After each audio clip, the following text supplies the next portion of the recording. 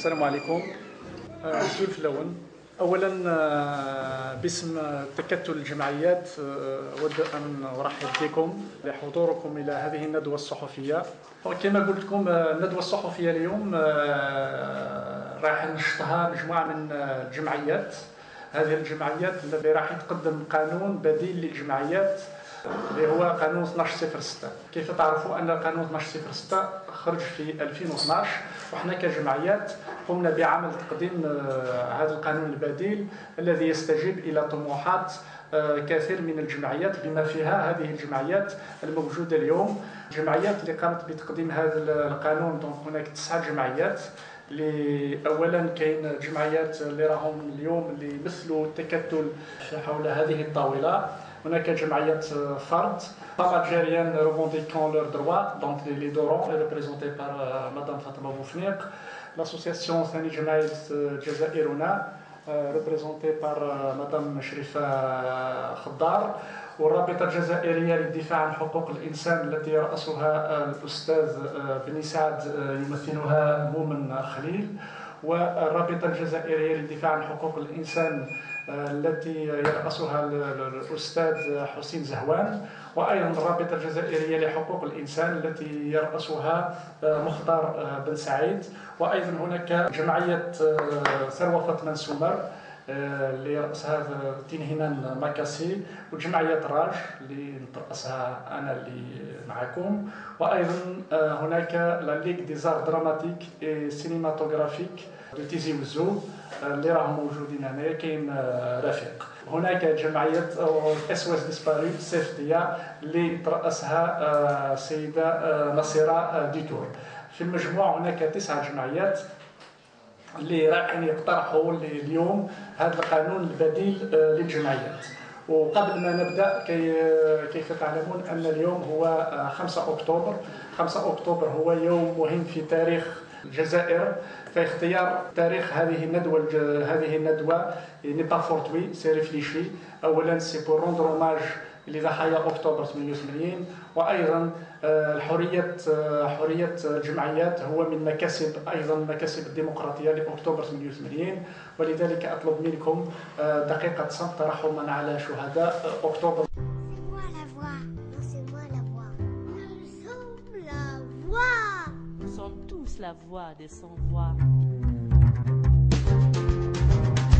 Bon, la loi, comme, vous le savez, que la loi a été promulguée en 2012. C'est une loi euh, qui est venue dans un contexte national et régional dont mes amis vont en revenir. C'est une loi qui a été euh, présentée et imposée d'une manière unilatérale, sans la concertation avec le mouvement euh, associatif. Et depuis son application, donc beaucoup d'associations l'ont rejeté, beaucoup d'associations ont exprimé leur mécontentement, leur refus à cette loi qui ne répond pas aux attentes du mouvement associatif au niveau national. Donc il y a plusieurs initiatives de la part des associations un peu partout au niveau national pour rejeter cette loi qui est qualifiée de loi liberticide et euh, scélérate. Donc on a constaté sur le terrain que cette loi a fait quand même du mal pour le mouvement associatif. Et aussi on a vu que l'intention de, la déclaration du ministre de l'Intérieur pour euh, amender cette loi, pour abroger cette loi une autre fois. C'est pour cela, nous, en tant qu'association, euh, on a, donc, qui ont déjà pris des positions sur la loi 206, qui ont, c'est-à-dire on a trouvé qu'il y a de la convergence, on a pratiquement les mêmes positions par rapport à cette loi. On a commencé à travailler, à réfléchir, qu'est-ce qu'il y a lieu de faire pour garantir la liberté d'association et, euh, proposer une loi alternative à cette, à cette loi. Donc le travail a commencé, euh, ça fait plus d'une année, depuis avril 2017. On commence à faire des réunions, des échanges.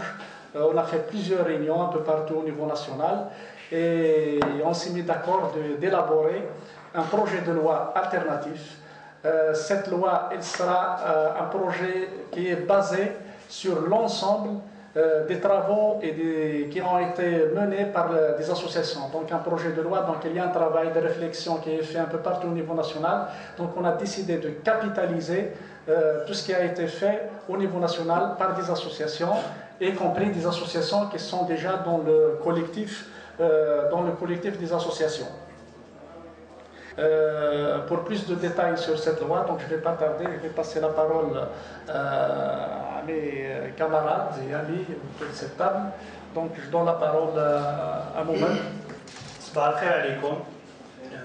خليل عبد المؤمن امين العام للرابطه الجزائريه للدفاع عن حقوق الانسان قبل ما نهضروا على القانون اللي إحنا حنقترحه نتكلم على الاطار أو السياق الذي جاء فيه القانون 012 هذا مسألة ضرورية باش نعرفوا علاش تقريبا 8 سنين من بعد سبع سنين من بعد ما زال الإشكالية قائمة وقائمة بشكل كبير. نقرأ عليكم نص خطاب رئيس الجمهورية اللي قال لي كان في 15 أفريل 2011 واللي يقول إن المسعى هذا يتكلم عن الإصلاحات. سيشمل أيضا توسيع وتوضيح مجال الحركة الجمعوية وأهدافها ووسائل نشاطها وتنظيمها من أجل إعادة تأهيل مكانة الجمعيات في المجتمع بصفتها فضاءات للتحكيم والوساطة بين المواطنين والسلطات العمومية. وريثما تتم المراجعة المزمعة للقانون الذي سيسير نشاط الجمعيات أدعو منظمات الحركة الجمعوية إلى تكثيف المبادرات التي تخولها رسالتها من خلال الانخراط من الآن ضمن هذا المنظور. كما ينبغي أن يصبح احترام حقوق الإنسان انشغالا دائما لدى مختلف الرابطات والجمعيات الوطنية المتكفلة بهذا الشأن وسيتم تأمين كافة الظروف لتمكينها من إسماع صوتها وأداء مهامها بوجه أفضل. ويتعين على المؤسسات والإدارات المعنية أن تسهم في ذلك على أكمل وجه. كلام جميل يعني نتفق أن هذا كلام جميل. في محتوى آه، تصور اللي نقدر أن نتقاسم معه. ولكن للأسف خيبة الأمل كانت كبيرة لما آه، تم آه، إصدار الإصلاحات أو تعديل مختلف القوانين بما فيها قانون الجمعيات.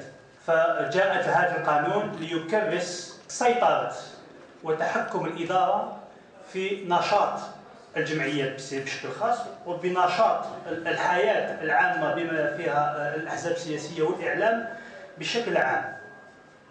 فلما لما نشوفوا في نولو إلى 2011 كانت كنا تحت حالة طوارئ 2011 وكان كان الجمعيات قامت ب تفكروا إن سي دي يعني قمنا بحراك من أجل المطالبة بتوسيع الحقوق والحريات العامة. فجاء رد السلطات تخوفا من تأثيرات ما يعرف بالربيع العربي حول المشهد الوطني. فجاء رد السلطات على انها تقول أوكي حنقوم بإصلاحات. سمعناكم حنقوم بإصلاحات ونعدل نعدل القوانين الاساسيه اللي تتعلق بالحياة العامة. وأول إجراء كان رفع حال الطوارئ. لكن لما لما نحلل مضمون هذه الإصلاحات أو مضمون هذه القوانين نشوف أنهم تخلوا على حال الطوارئ ولكن جميع التدابير اللي كانت في إطار حال الطوارئ اللي تعطي إمكانية تحكم الإدارة في الحياة العامة حطوها في القوانين آه، العضوية أو القوانين اللي تم إنشاء بما فيها قانون جمعيات صفر صفر 12 فإذا نشوف قانون الجمعيات في مختلف مراحله أو مختلف آه، مبادئه نشوفوا أنه يتحكم في عملية إنشاء الجمعيات يتحكم في عملية آه، عمل الجمعيات وحياتها اليومية. بما فيها الحياة التنظيمية ويتحكم أيضا في آه، تمويل الجمعيات. ففيما يخص لما نشوف قانون 012 نشوف فيما يخص التكوين. ولينا كنا كما قانون واحد قانون 90 كان التكوين على على أساس أنه صريح. الجمعيات تصرح والإدارات تعارض. هنا أصبحنا إلى إلى نظام الاعتماد أي أن الجمعيات توضع ملف والسلطات هي اللي ترفض هي اللي تقرر الجمعيه مرخص بها أو غير مرخص بها. فولينا في الاعتماد. فالسلطات الإدارة تحاول تحكم على لا كما يقولون. تحكمت في العملية. وأيضا فيما يخص مثلا مسألة شروط إنشاء الجمعيات بما فيها الأعداد الأعضاء المكون الأعضاء المكونين عدد الأعضاء المكونين للجمعيات على مختلف المستويات البلدية أو الولائية أو العضو الولائية والوطنية. فشفنا فيما يخص الوطنية عندنا 25 عضو على 25 آه، عضو يمثلون 12 ولاية. فهذا أيضا مسألة غير غير منطقية وتعارض آه، مبدأ حريه آه، إنشاء الجمعيات فيفضل أننا أن الجمعيات تكون عندها تمثيل وطني قد يكون تمثيل اصطناعي. أن يفضل على الجمعيات انها تكون عندها تمثيل ولا كان مجموعة ما عندهاش هذا التمثيل فهي تلجأ بعملية اصطناعية أن يكون عندها تمثيل وبالتالي هذه هذه المسألة تجعل من الجمعيات تكون تكون هشة في المرحله الثانية وهي مرحلة العمل أو مرحلة التنظيم. فيكون عند أعضاء مؤسسين اللي تعود تحوس عليهم تلقى ماهوش موجودين لأنهم هم شاركوا في العملية التأسيس من من أجل تجاوز مسألة العدد أو قيد العدد. فهذه المساله إحنا حنعالجوها في في في المقترح تاعنا. الشيء الآخر هو شفنا هذا القانون 06 12 يجرم النشاط في الجمعيات الغير مرخصة أو التصريح في في إطار جمعيات غير مرخصة آه، المادة 64 صفة 12 كان بمثابة كارثة بالنسبة للمجتمع المدني الجزائري. فعندك صنفين عندك مش... جمعيات اللي تم قبولها وهذا في إطار تنازلات أو في إطار تنازلات من جانبها أو في إطار أنها تمثل لا تمثل إحراج بالنسبة للسلطات في نشاطها وكاين جمعية اللي هي عندها مبادئ تاعها وقد تكون مصدر آه، ضغط أو مصدر إحراج بالنسبة للسلطات أو بالنسبة للإدارة. كما أنا هذه الجمعيات اللي حاضرين هنا معكم فهذه الجمعيات لم يتم عملية المطابقة في إطار الشروط اللي فرضها قانون 02 012 وبالتالي خرجتها الإدارة خرجتها على مجال النشاط العادي اللي لازم يكون فيه المجتمع المدني. فمثلا كنا قادرين نديروا هذا اللقاء في قاعه عمومية في فندق سوفيتال فتفاجأنا أو لن والبعض لم يتفاجأ على كل حال أن السلطات رفضت هذا رفضت هذا انعقاد هذا هذا الاجتماع على أساس أننا إحنا قدمنا قدمنا الطالب على أساس ثلاث أشخاص مصرحين لأن ما عندناش اعتماد كجمعيات اعتماد 12 آه، على أساس اعتماد قانون 12 06 وليس الاعتماد السابق. فقلنا نقدموا على على أساس أن ثلاث أشخاص مدني آه، مواطنين. يقدموا للطالب. ولكن لما تقدم ثلاث أشخاص يعني يقول لك عملوا لي فورمولا عملوا لي استماره اللي لازم تكتب فيها وشنو الجمعية اللي تنتمي لها. وبالتالي شغل نفس الشيء يقول لك كي تعاملوا بانك تنتمي إلى الجمعيات فهو الاداره تقول لك تقول لك لا. فتم رفض آه، هذا هذا الاجتماع. فشوفوا أن قانون 12 6 معيق ومعيق جدا وهذا لهذا نحن نحب أن نتجاوزه. شكرا. شكرا. Les positions des associations de ce collectif et bien d'autres associations ne datent pas seulement suite à la réaction par rapport à la promulgation de la loi, mais bien avant. Bien avant, on avait une lecture qui nous permettait euh, aujourd'hui de confirmer nos contraintes par rapport euh, aux conditions qui sont mises aux organisations de la société civile pour qu'elles ne puissent pas jouer le rôle qu'elle a dans une société. Euh, d'abord, il y a eu la mobilisation avant la promulgation pour qu'il n'y ait pas eu promulgation il y a eu donc promulgation, nous avons continué à avoir notre position, et il y a eu après l'application. Après l'application, comme on l'a dit d'abord dans le texte, la procédure de constitution ou de mise en conformité pour les associations est une procédure administrative très lourde, donc qui ne permet pas à toute forme d'organisation, parce qu'on ne peut pas être homogène dans une société civile, donc il y a une, hétérogénéité pas seulement par rapport au nombre, mais par rapport à plusieurs aspects. Et donc, si on ne rentre pas dans le moule qui est coupé sur mesure par rapport à la loi, on est exclu, ne serait-ce que par rapport à la démarche administrative. Donc, si je reste seulement sur ce critère, donc concrètement, qu'est-ce qui s'est passé? Euh, Les associations, parce qu'il y a eu des positions d'organisation qui ne voulaient pas donc euh, se mettre en conformité, en considérant qu'il y a une atteinte aux libertés, puisqu'il faut l'agrément est une autorisation de l'administration, et d'autres associations qui ont dit, dans ce contexte, on veut rester légaliste et nous irons jusqu'au bout. Et donc, les associations qui ont accepté de se mettre en conformité, il y a eu plusieurs situations. Des associations qui se sont vues le refus de réceptionner le dossier, c'est-à-dire l'administration ne les considérait même pas. Ils, avaient un, ils ont dépassé la lourdeur de la procédure et ils ont constitué, selon les règles de la loi 1206 des dossiers, ils ont voulu les, les déposer. Ils n'ont pas été reçus par les administrations, soit au niveau local, soit au niveau national par le ministère de l'Intérieur. Il y a d'autres associations qui ont pu déposer, qui ont reçu des accusés de réception, mais pas d'agrément et donc qui sont restés suspendus. Et donc, ces deux éléments ont fait que, et ce n'est pas nous qui le disons, c'est le site du ministère de l'Intérieur qui donne ces chiffres, 50% des associations au niveau national qui existaient ont disparu. Et les nouvelles restent toujours en attente de réponse quand elles ont réussi à avoir un accusé de réception.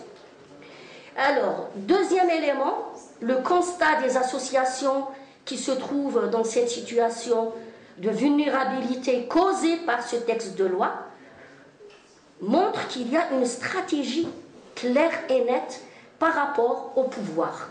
C'est-à-dire, ce sont en gros les associations qui travaillent sur les droits humains, c'est-à-dire les ligues, les associations qui travaillent sur les droits des femmes, et l'égalité homme-femme dans la société, donc les associations féminines et féministes, des associations qui travaillent pour l'accès aux droits fondamentaux, telles que des associations euh, d'accompagnement d'handicapés, de santé, etc. Et souvent aussi, le refus est fait par rapport aux personnes qui composent les associations parce que connus comme étant des militants pour la citoyenneté ou des militants partisans. Et là, j'attire l'attention qu'il y a deux poids, deux mesures, parce que ce ne sont pas tous les militants partisans qui sont donnés comme cause de refus d'agrément. Les partis au pouvoir, leurs militants sont à la tête d'associations et ils n'ont pas eu ce genre de difficultés ou d'entraves. Pour terminer, ce que j'ai à dire, c'est que même les associations qui ont réussi à échapper aux contraintes de la lourdeur de la procédure, qui ont réussi à avoir un accusé de dépôt et aussi un accusé d'agrément, n'ont pas échappé à l'arbitraire par rapport à cette loi. Puisque je vais vous citer des cas concrets dans au moins deux wilayas de l'Ouest où il y a eu la démonstration par A plus B que cette loi est là pour mettre au pas la société civile et c'est pour cela que nous considérons que c'est une loi liberticide. Alors, le premier exemple, c'est deux associations qui ont été créées dans le cadre de la loi 1206 dans la wilaya d'Oran. L'association ARC, c'est l'association des résidents de la forêt de Canastel et qui avait pour objectif la promotion et la protection de la forêt de Canastel l'ex-Wali d'Oran, donc euh, à cette, à cette époque-là, avait donné une autorisation de transformer une parcelle de cette forêt en promotion immobilière.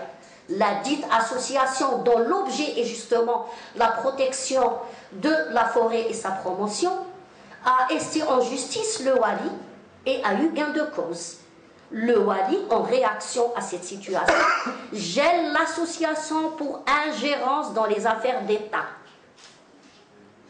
Donc, vous voyez très bien que l'article qui parle donc de l'ingérence d'État peut être interprété par chacun comme il l'entend. Donc une association qui est constituée pour promouvoir et protéger la forêt, quand elle fait son travail par rapport à son objet, et qu'elle a gain de cause par la justice, elle est gelée. Il y a eu un mouvement de solidarité qui a permis, donc suite à une décision de justice, que cette association puisse, donc, euh, pousse la wilaya à lever les gelées. Il y a eu une deuxième association à la même période, c'est une association de quartier pour la promotion des espaces verts, et bien que son nom s'appelle la, la, la Moussalaha, elle n'a pas échappé à cette épée Damoclès.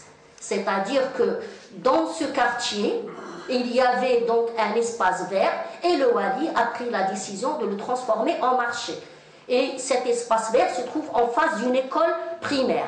Et donc, suite à l'organisation de ce mouvement pour stopper donc, la transformation de l'espace vert en, en, marché, donc le Wali a pris la décision de geler cette association. Euh, quatrième exemple, dans la wilaya de Témouchin, une association de promotion de l'environnement a reçu une réalisatrice qui les a aidés à monter avec les enfants, donc la pièce de Saint-Exupéry en français et en arabe.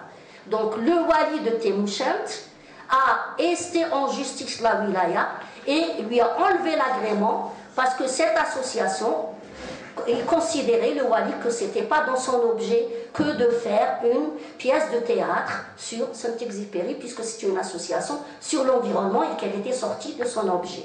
Et les dernières atteintes en date, c'est celle de février, du 23 février, et qui concernait deux associations féministes à Oran. Et du jour au lendemain, 23 février, après la permanence, donc, euh, la police se présente dans les locaux de ces associations, alors que les, personnes des associations n'étaient pas sur place, et, ont mis sous scellé ces deux associations. Je ne vais pas m'étaler sur euh, les épisodes que nous avons, parce que je suis euh, dans une de ces deux associations, mais je pourrais éventuellement répondre à vos questions si vous voulez de plus de précisions par rapport à cette dernière atteinte. Donc pour conclure, pour dire que il n'y a pas que nos craintes par rapport au texte, dans ses fondements philosophiques qui sont antidémocratiques, mais aussi toutes les pratiques qui confirment, malheureusement pour nous, que nous avons eu raison d'alerter l'opinion nationale et internationale sur de tels textes qui sont liberticides. Je vous remercie. Merci euh, Fatima Donc là, il nous a fait un exposé sur les conséquences et l'impact de l'application de la loi 1206. Avant, c'était Moumen euh, Khalil, donc il nous a parlé du contenu de la loi 1206. Euh, Maintenant, on donne la, parole à Saïd Salhi. Il va nous parler du contenu de la loi qui est entre, entre vos mains, donc la, loi alternative. Saïd, à vous la parole. Donc, je suis Saïd Salhi, vice-président de la Ligue algérienne pour la défense des droits de l'homme. Euh, alors là, je, donc, je vais faire la présentation de la loi alternative. Donc vous avez entre vos mains la loi. Je ne vais pas relire ou carrément lire la loi intégralement, mais je vais beaucoup plus faire un résumé de la loi. Mais avant de lire la loi, je vais un peu présenter donc, le cadre de cette loi. Ça a été dit par des examens, je, je reviens sur ça. Cette proposition est d'abord le fruit d'un long travail et intense travail d'échange, de réflexion des associations. C'est un travail autonome des associations qui est le prolongement de tout un processus. Vous allez, voir, vous allez voir que dans ce texte de loi, c'est un texte qui part d'abord des attentes et des besoins des associations, mais qui part aussi des pratiques et des réalités de l'exercice de la liberté d'association en Algérie. Donc c'est beaucoup plus un retour sur un fait, sur des pratiques. Je ne vais pas revenir sur ce qui a été dit par Fatma, mais c'est tout ça qui a fait qu'aujourd'hui qu'on propose une loi alternative. Je reviens sur le mot alternative. Justement, c'est une loi alternative qui ne reprend pas la loi 90-31, qui ne reprend pas la loi 1206, mais c'est la vision des associations. c'est notre vision. Cette loi est élaborée à base, sinon en référence d'abord au standard universel de la liberté d'association.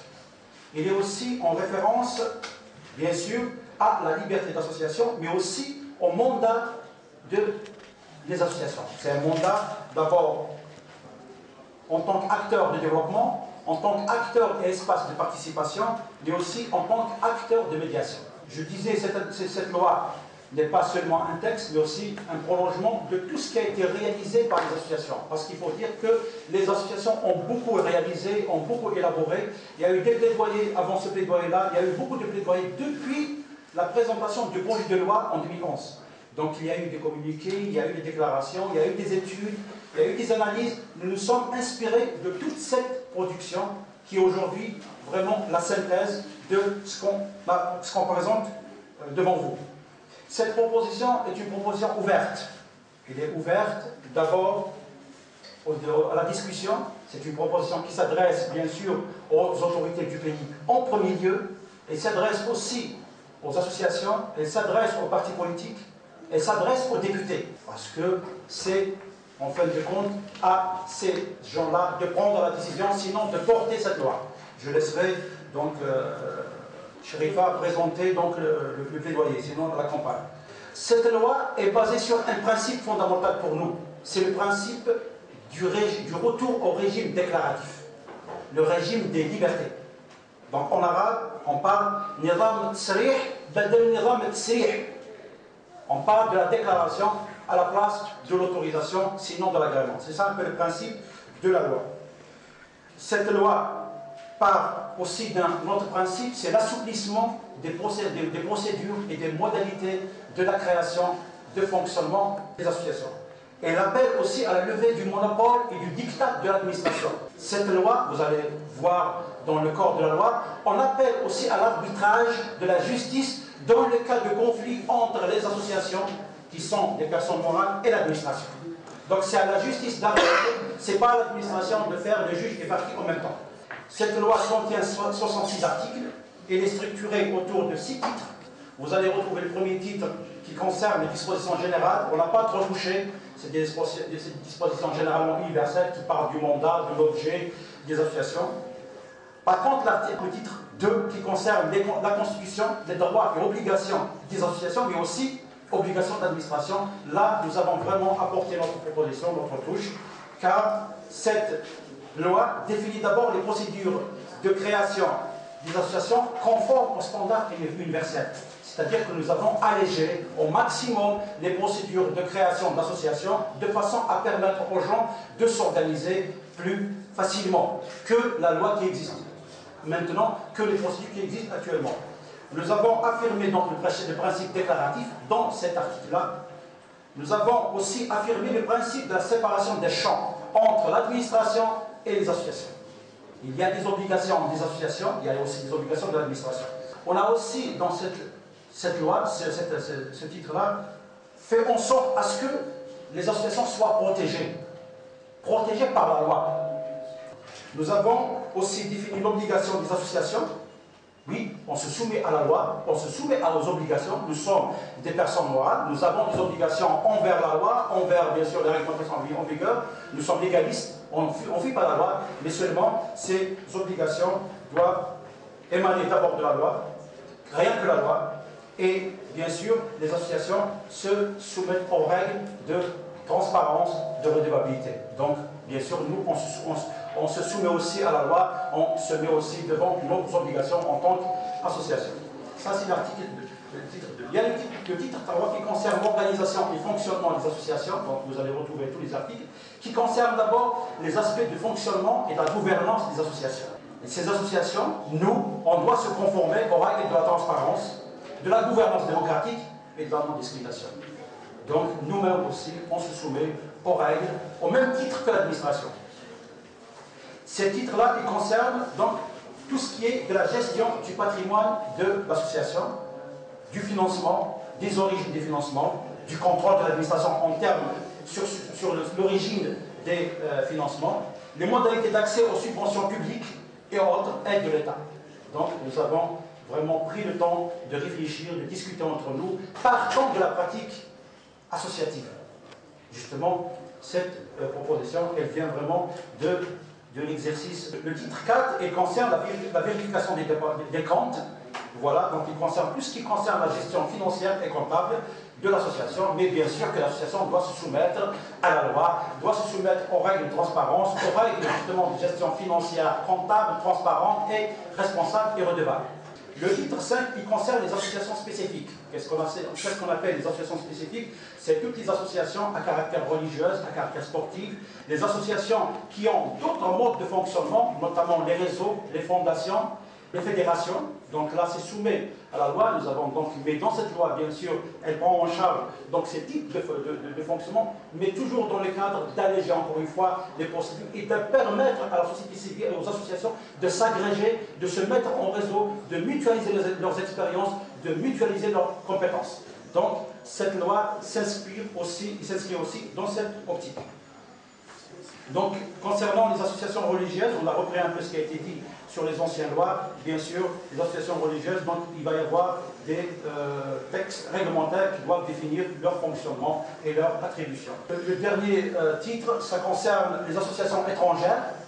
Cette loi alternative définit les modalités et euh, les procédures de leur établissement, sinon de leur représentation en Algérie.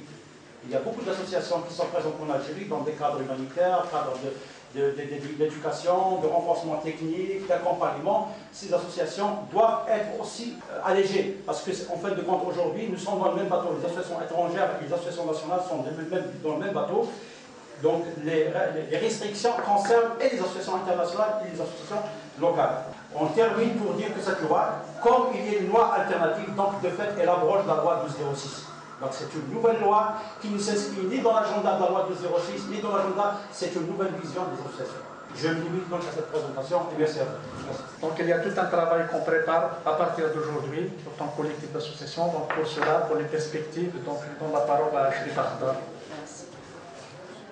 Bon, comme Saha, de toutes les façons, comme euh, toutes les interventions de mes euh, amis ici présents, حبينا برك تعرفوا بلي باش نقولوا لكم بلي الخدمه تاعنا ما خلصتش اليوم سي فري كو لو تكست maintenant nous avons mené c'est-à-dire le travail à terme de réflexion et de rédaction mais euh, il, il reste ce, maintenant je vais vous présenter ce qui nous reste à faire c'est pas ما درناش حنايا ان تكست باش نقعدوا نتفرجوا فيه ولا جوست باش نقولوا بلا ما خدمنا ce texte là il va faire euh, objet de présentation, premièrement, euh, au niveau des associations, parce que nous avons décidé que ce texte, ce sera un texte inclusif, mais chez uniquement les associations qui ont travaillé pendant ces, longs mois, qui vont euh, le porter auprès des autorités pour un plaidoyer. Non, nous allons le porter d'abord vers les associations, l'expliquer, organiser, euh, s'il le faut, des assises avec des associations pour pouvoir l'enrichir, pour pouvoir peut-être le critiquer, pour pouvoir euh, donner plus euh, d'idées, l'élargir. On ne sait pas qu'est-ce que ça va donner pour la mouture finale. Mais nous, ce que nous, nous, nous avons présenté aujourd'hui, c'est un travail de longue haleine, bien réfléchi. Nous avons fait un travail vraiment sérieux, mais cela ne va pas exclure les autres associations pour pouvoir apporter leur contribution.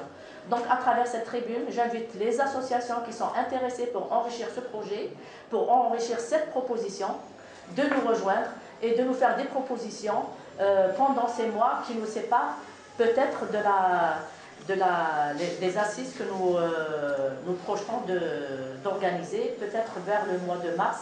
On n'a pas encore vraiment arrêté une date.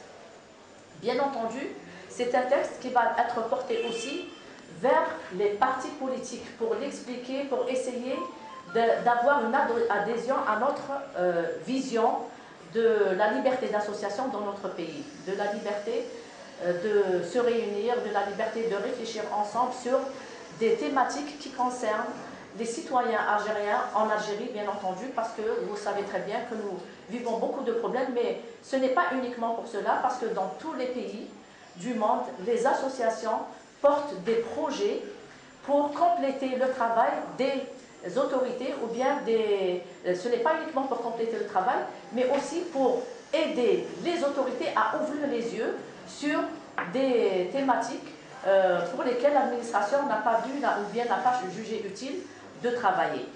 Euh, bien entendu, parmi ces partis politiques, nous allons travailler aussi bien avec, euh, ou bien nous allons le présenter aussi bien aux partis politiques qui ne sont pas représentés dans les institutions, qu'avec les partis politiques qui sont représentés. Et c'est pour cela aussi que nous envisageons d'aller voir les groupes parlementaires bien entendu, quand je parle de partis politiques, quand je parle d'associations, quand je parle de groupes de, parlement, de parlementaires, on parle surtout des, des, des, groupes qui veulent bien nous recevoir, qui, viennent, qui veulent bien partager un travail avec nous. Donc, nous, nous, nous, nous, allons exclure personne, aucune association, aucun parti politique, mais bien entendu, les, ceux qui refusent de nous voir, nous n'allons pas faire, c'est-à-dire, nous n'allons pas perdre notre énergie à uniquement faire accepter notre travail par les, partis politiques qui ne veulent pas travailler avec nous. Bien entendu, quand je parle de partis politiques, aussi bien les partis politiques de, la coalition que de l'opposition. Euh, bien entendu, à chaque fois que nous avons euh, travaillé, nous avons essayé aussi de, faire euh, partager notre travail par les institutions. Et quand on parle d'institutions, bien entendu, toutes les, plus hautes instances du pays, nous parlons peut-être de, du Parlement, du Sénat, de la présidence, pourquoi pas, du ministère de l'Intérieur et du ministère de la Justice.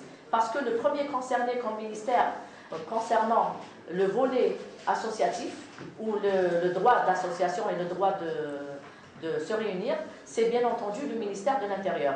Et c'est avec ce ministère-là que nous allons peut-être faire le plus grand plaidoyer si jamais, bien entendu, ces services acceptent de nous recevoir. Parce que à chaque fois que nous avons essayé de travailler avec certains services du ministère de l'Intérieur, les portes n'ont pas été ouvertes à chaque fois.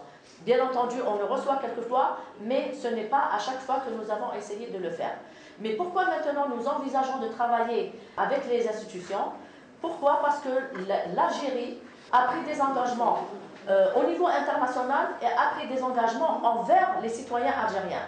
Les engagements au niveau international, euh, nous avons euh, l'engagement qui a été pris lors de l'examen de l'Algérie, de l'examen universel et donc, il y a eu des recommandations, et suite à ces recommandations, je pense que Moumen ou bien Saïd vous a parlé du discours du ministre de l'Intérieur, dans lequel il s'est engagé, bien entendu, à, réviser cette loi.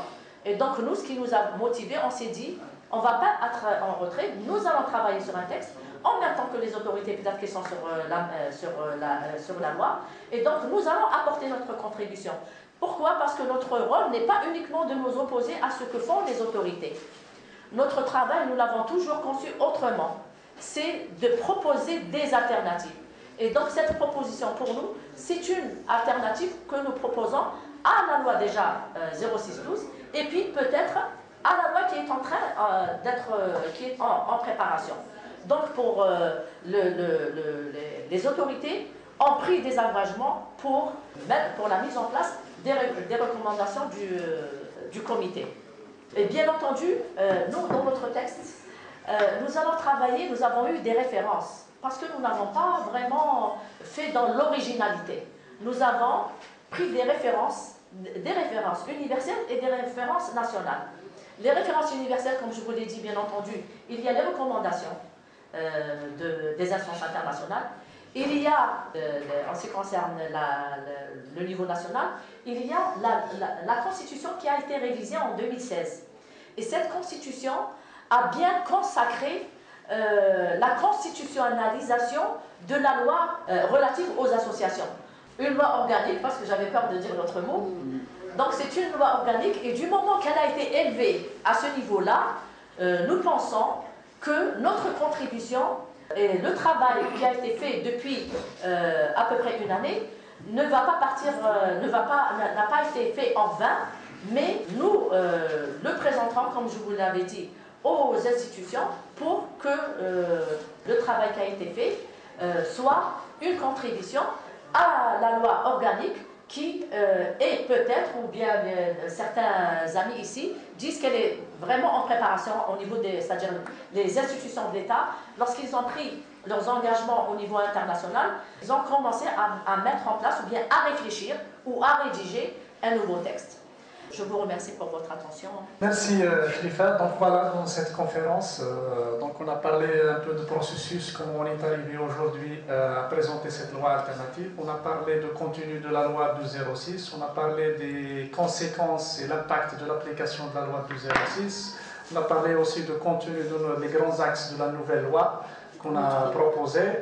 Et là aussi, euh, a terminé avec notre, les perspectives et l'objectif, euh, c'est-à-dire que euh, les perspectives et le, plaidoyer pour que cette loi puisse euh, passer, puisse être, puisse, que les pouvoirs publics vont, pour que les pouvoirs publics vont la prendre en charge dans les prochaines réformes, j'espère.